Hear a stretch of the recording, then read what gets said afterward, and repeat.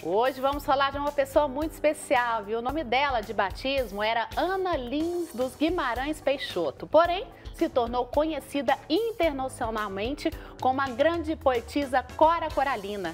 E a gente vai aproveitar esse dia 20 de agosto, data em que Cora faria aniversário, para relembrar um pouquinho da linda trajetória dela. Olha só. Esta diferença, o homem água é o homem aberto é o homem para todos, para uma pergunta, uma indagação, um favor, um ensino, uma lição. E o homenzinho é fechado, ele não se abre, ele não se oferece, ele não se dá, a não ser para uma roda muito escolhida e muito limitada de amigos. As palavras de seus poemas e contos eram traçadas com a mesma habilidade de sua profissão como doceira. Cora Coralina nasceu em 20 de agosto de 1889 na cidade de Goiás, no estado homônimo. Seu nome de batismo era Ana Lins dos Guimarães Peixoto.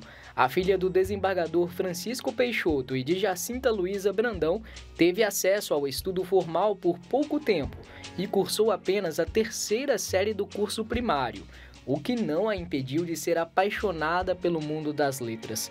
Quando tinha 19 anos, em 1908, criou com algumas amigas o jornal de poema A Rosa, e foi neste período que passou a assinar seus textos com o pseudônimo de Cora Coralina.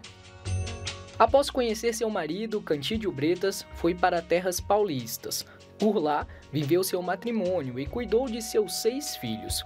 Por todas as cidades onde viveu, a autora publicou artigos em jornais locais e engajou-se em diversas atividades comunitárias. Sua vida foi marcada por muito trabalho, da culinária ao roçado.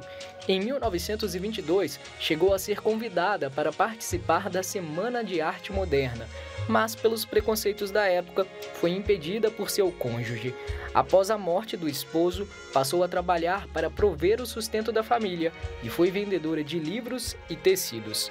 Em 1956, Cora retornou para sua cidade natal. Às voltas com o velho fogão de lenha, Cora dividia o tempo entre fazer literário e a culinária.